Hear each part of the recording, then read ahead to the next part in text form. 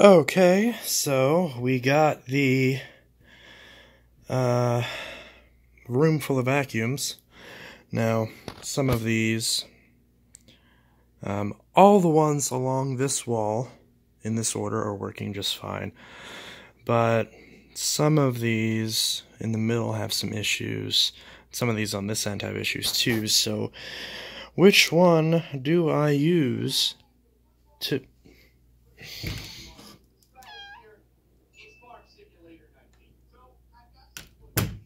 So which one of these do I use to clean? That's the question. There's plenty of options. I would love to use that smart vac, but the switch is bad. And uh, so I don't know which one of these to use. Hmm. Well, we're about to pick one.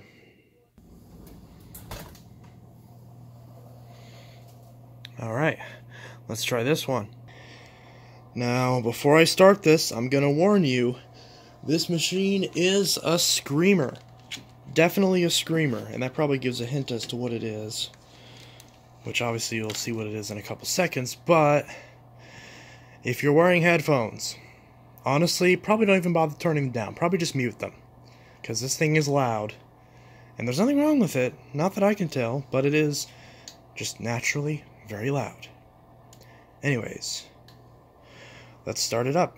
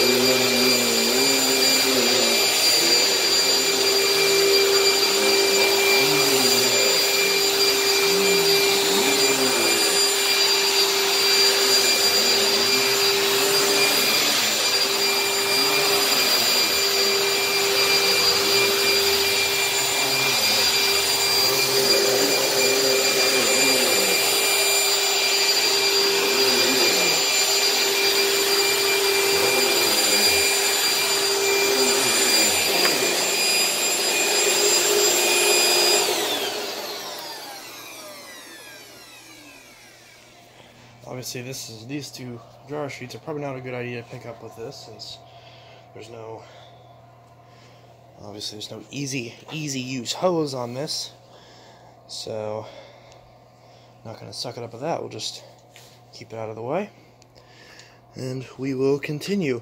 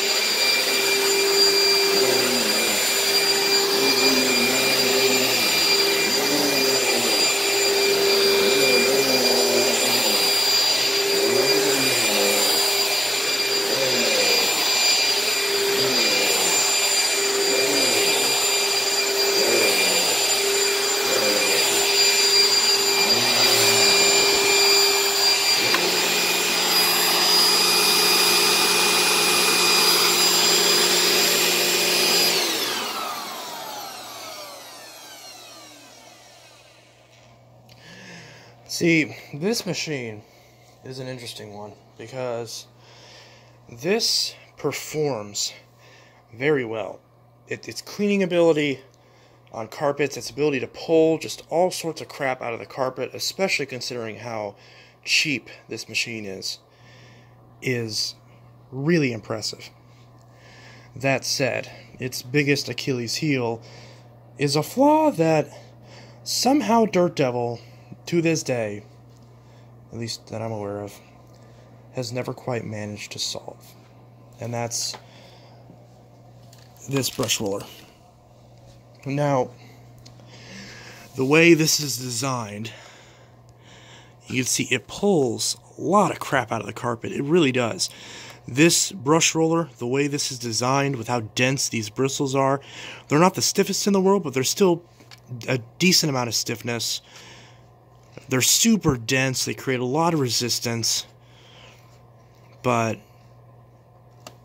this automatic height adjustment is just not great because especially on this type of carpet where it's relatively plushy like this is basically like a medium style carpet. It's it's not a high pile but it's also not a super low pile carpet. It's a very average sample of what you would see in a carpet that's part of the reason why I like testing vacuums on this carpet, as well as the carpet at my dad's house, because there are uh, some machines I have that legitimately do not run on my dad's carpet at all.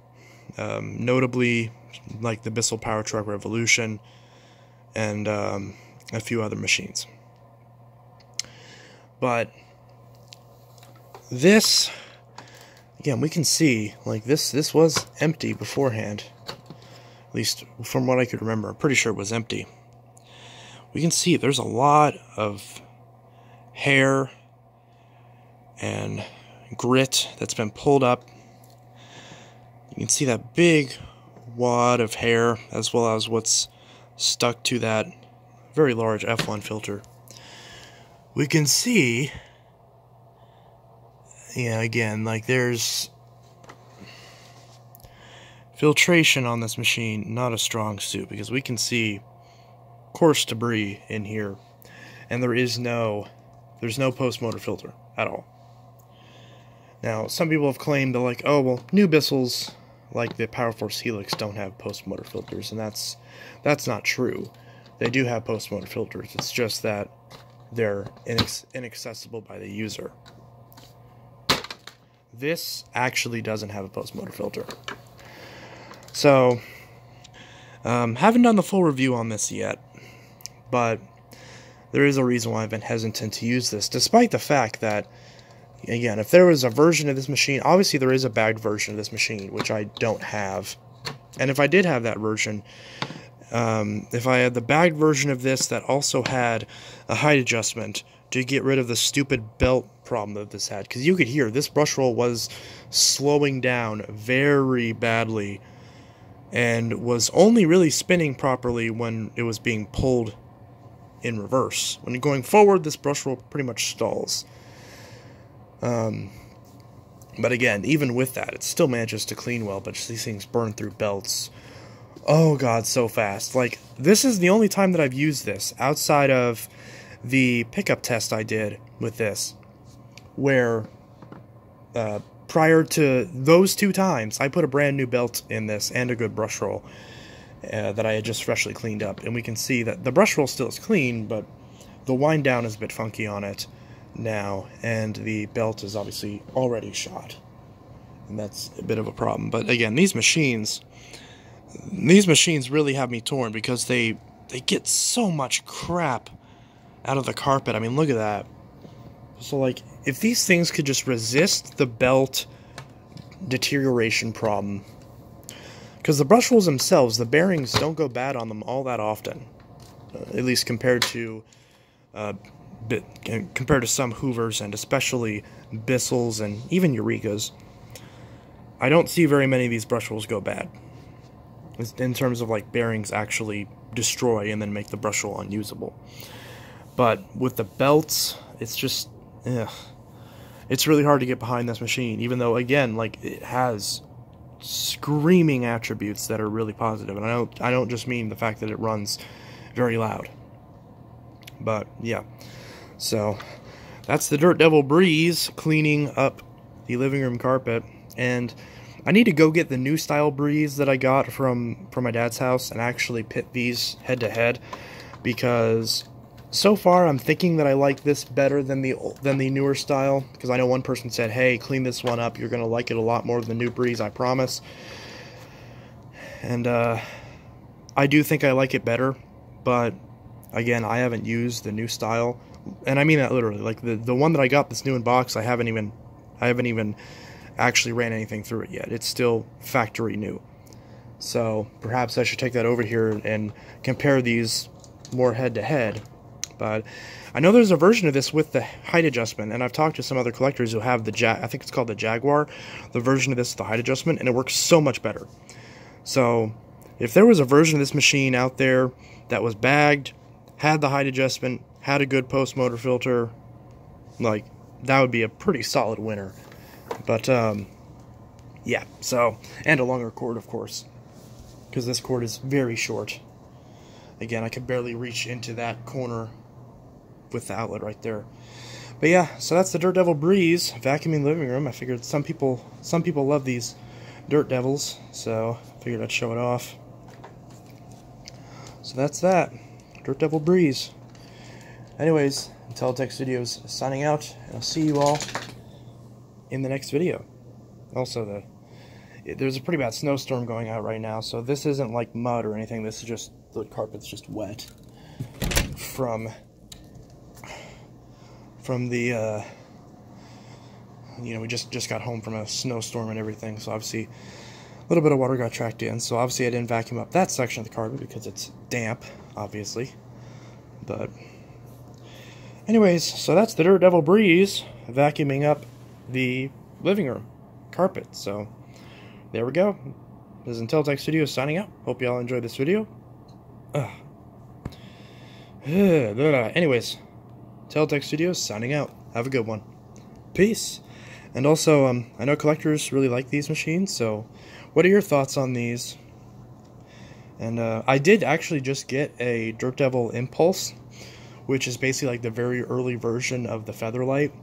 The only thing wrong with it is it's missing the, the bumper, and it's missing the dusting brush, uh, which I don't know if it uses this style of dusting brush or if it uses a different style, but so I just got to get a, another dusting brush for these. In fact, I need a whole new attachment set of this style attachment set because my Swivel Glide uh, still needs an attachment set. And I do still, oh yeah, the Swivel Glide also is one where it's unusable on my dad's uh, carpet. So again, that's one where I'll have to bring that one over here to the new house and see how well the, the swivel casters work on this carpet because I really like the swivel the swivel casters on the swivel glide.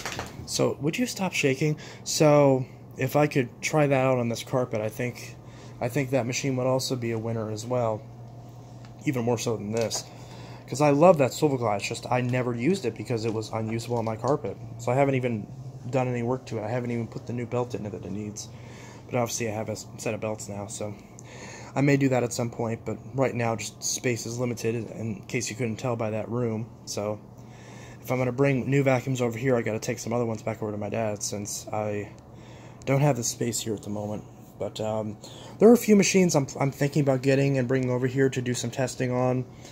Um, like uh, notably, notably the uh, the Shark Apex. Um, I may take that over here as well because I want to see how well the dual clean system works. And then my Zero M Apex I need to get a new wand for. And at some point I'd like to check out the Vertex as well, but I don't know if Shark is still giving out samples to reviews to reviewers. I know they used to do that, but uh, yeah. So just a quick little update there. And uh, if you guys have any any requests for vacuum videos, like little demos that you want to see, you know, of this style, if there's any vacuums I have that are running or ones that I'm working on that I'll get running soon uh, that you want to see, drop it in the comments below, and I, I may do that. Since, uh, again, yeah, review on this might be coming soon. Obviously, the the Moosoo review is going to come first. Actually, both those machines, the reviews are going to come pretty soon. Because uh, I want to review this machine before the deal, the $60 deal goes away, which it might even be gone already, but oh well. So yeah, Intellitech Studio signing out with the uh, whole living room vacuuming of the Dirt Devil Breeze, not the cyclonic version. Uh, this one was manufactured in 2011, I'm pretty sure, so it's uh, it's not like a super old variant, but it's it's like the most up to date one, pretty much the newest one right before they got redesigned. Because they got redesigned in like 2012, I think, 2013, something like that. But yeah, so that's the old school Dirt Devil Breeze. And uh, since I keep rambling and repeating myself, I'll see you guys in the next video. Have a good one. Peace.